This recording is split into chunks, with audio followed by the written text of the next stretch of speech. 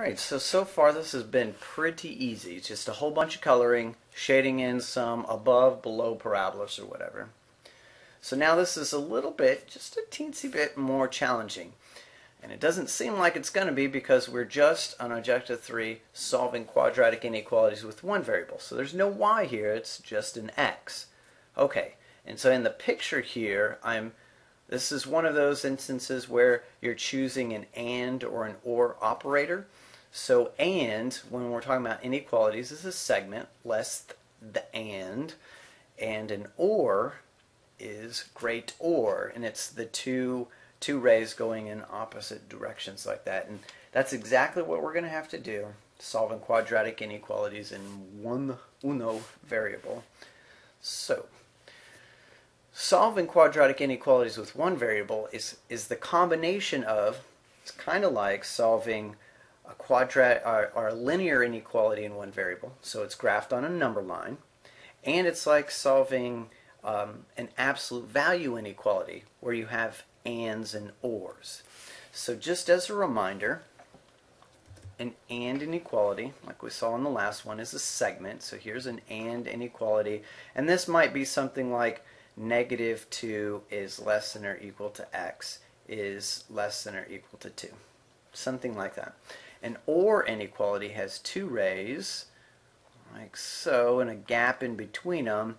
And this one might be x is less than negative 2 or x is greater than 2. So this is the kind of thing we're going to have to do when we're solving quadratic inequalities with one variable, with just an x. So I want you to consider this very, very simple quadratic inequality. x squared is greater than or equal to 25. Okay, if this was an equation, that'd be super simple to solve, but it's now it's an inequality. When it was an equation, what you would do is you just take the square root of both sides. However, taking the square root of both sides doesn't make much sense with um, an inequality sign in there. So instead, let's just well, let's just ignore the inequality sign. Let's pretend like it's an equation. x squared is equal to 25, and then solve that by taking the square root, and we get how many answers? Two of them. x is equal to positive 5 and negative 5. Now, these are not necessarily our answers. They're what are called the critical values. Okay, so we put those two critical values on a number line. And that's going to break up our number line into a couple of different intervals. Take a look at that. So here, here's a number line right below it. I'm going to put in negative 5 and 5. For this particular inequality, those two numbers would satisfy it.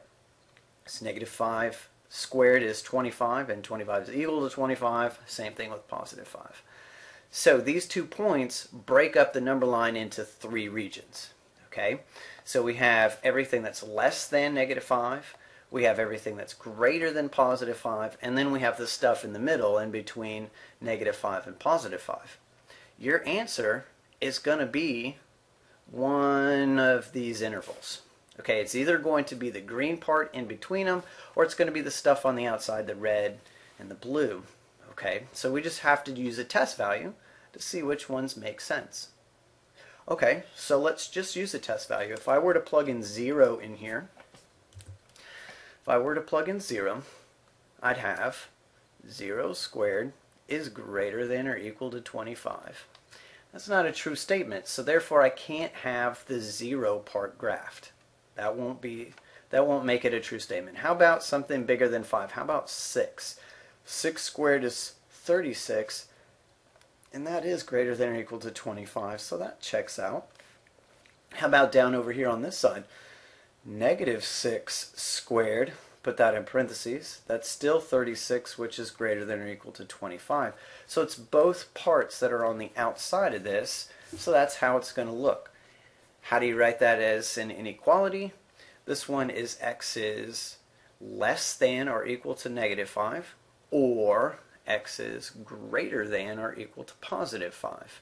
Notice that the original sign here is a great or than sign, and this is a great or. It is an or inequality. Now this is something I'm going to, I'm going to point out about this. You can only use this as a shortcut if your quadratic term is on the left side, if it comes first. Okay, If it doesn't, just maybe rearrange your terms. Also, it needs to be a positive one out here first as well. Okay, so let's look at the other case. Let's switch this thing around. Now let's make it x squared is less than or equal to 25. Now whenever I do a test value of 0, if I plug 0 in there, of course 0 squared is less than or equal to 25, so it checks out.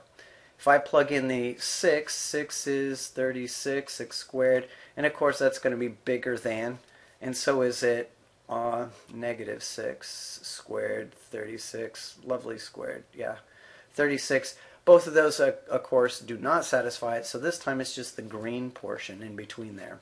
And you write that as negative 5 is less than or equal to x is less than or equal to positive 5. What kind of inequality is that? That's an and inequality. Again, I'll point that out that this is x squared is less and 25. And I can only use this as a shortcut if the squared term is on the left side of the equation, inequality, and it's positive. If it's not, you'll just have to make it that way before you can use this shortcut. Otherwise, you just use a test value, okay? So, here's another way to think of it. Let's relate it back to objective one Let's put it with two variables instead of one. I know this might sound strange, but watch this play out and you'll see, oh, that's actually pretty cool. So instead of thinking of x squared minus 4 is less than 0, let's make it x squared minus 4 is less than y. Okay? We're going to graph that parabola and then shade the appropriate region. So think of it like this. And, and whenever I go to graph this thing, it's just the parent function that's moved down 4, right? So I'd graph it like so. It is a dashed line. Y is the greater part on this. So if I look at this, Y is greater than all this. What part is going to be shaded? Greater means above the Y stuff. Okay? Now I'm going to collapse this thing down. Where is it only touching the x-axis? Because this is two-dimensional, I don't want all of the y-coordinates. I just want whatever is on the x-axis. So whatever the shading is it's on the x-axis so it's in between those two points and it's that segment and then watch this collapse down. Oh, what good anime. I gotta watch that again. I gotta, I gotta watch that again. Fantastic. So what is the answer there? It is uh, negative 2 is less than x is less than 2 also if I look back over here this is a less and, and it's an and inequality. Let's look at this in the other direction then. Make this x squared minus 4 is greater than y. So go ahead and make the parabola again. Even though this is greater than y, y itself is smaller than the quadratic part, so this time it's going to be shaded down below. Right? And again, the answer is only where the shading touches the x-axis. So the two intersection points, two x-intercepts get open circles like so. And then this time it's going to be two rays that go on the outside and then get rid of all the other shading. Look at that. Nice. So the answer is negative x is less than negative 2 or x is greater than positive 2. That was pretty sweet. Pretty sweet. So let's give this a try, shall we? Solve the inequality. So uh, I got a 4 over here. Let's get that to the other side. 2x squared minus 7x minus 4 is greater than 0. But let's just pretend like it's an equal sign. Um, we could try to factor it. Let's try to factor it. So we can get some the, the critical values because that's what we're looking for is we're looking for the critical values. Um, same thing as the, like the x-intercept. So open my parentheses.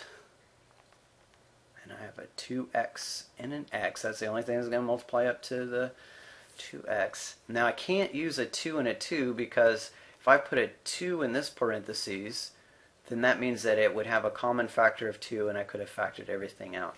Uh, a 2 out of everything. So that doesn't make sense. So the only thing that really makes sense here is making a 4 and a 1. I wouldn't put the 4 in this one for the same reason I wouldn't put a 2, because they would have a common factor of 2, and I could have factored it out to begin with. Okay, So all that to say that this one has to be a 1 and this one a 4. Um, let's see, we want a negative 7, positive 1. Inside term is an x, outside term is a negative 8x. That makes 7x, negative 7x, and that checks out. Okay, so our critical values then from the first one, x is equal to negative a half. From the second one, x is equal to 4. And I add it over. All right, let's put these on the number line. All right, we'll see. I got a 0 there. Let's say negative a half is right here. Does it get an open or a closed circle? Let's look back. That says just greater than, so it is open. And uh, my 4 out here, also an open. Now I need to decide, is it going to be shaded on the inside or on the outside? This, the quadratic part is great, or, so this should mean that I am shading on the outside of this. Out here and out here. Um, if you're not sure, let's just plug in 0 and see if that makes sense. I can plug it in in the original one or the one where I got 4 over, it doesn't matter. Let's just plug it into the original one. So 2 times 0 squared is 0, minus 7 times 0 is 0, is greater than 4. Is 0 greater than 4? It's not. That's why we didn't shade the stuff in the middle.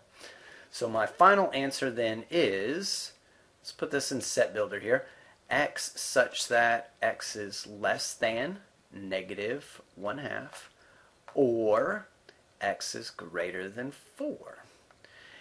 Uh-huh, set builder. How about interval notation? Just because.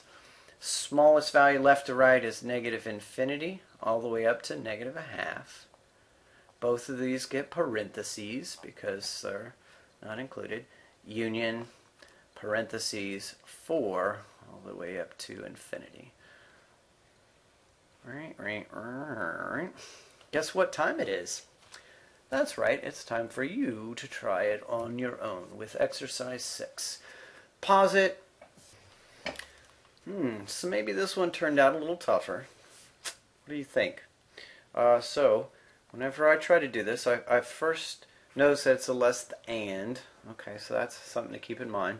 Subtracted the 3 over, tried to factor it, but it wouldn't factor. If it's not going to be factorable, then I need to either complete the square or use the quadratic formula. Um, I chose the quadratic formula on this one, so let's look at that side of stuff. So using the quadratic formula, reducing everything down, you get negative 1 plus or minus the square root of 7 over 2. And then I just went ahead and approximated those two things with decimals put them on a number line, and it's less and, so it has to be in between those two. So over there on the left-hand side, you have uh, set builder notation, and then on the right-hand side, kind of in the middle, there's the interval notation. And if you didn't like that uh, particular kind of test, that shortcut, you can just use 0, plug 0 in there. 0 is less than or equal to 3. Definitely true, so it's everything that's in between there.